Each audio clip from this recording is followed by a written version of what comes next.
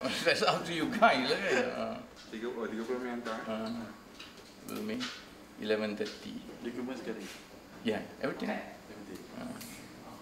I thought just, just say uh, salah laku saja. Aduan saja.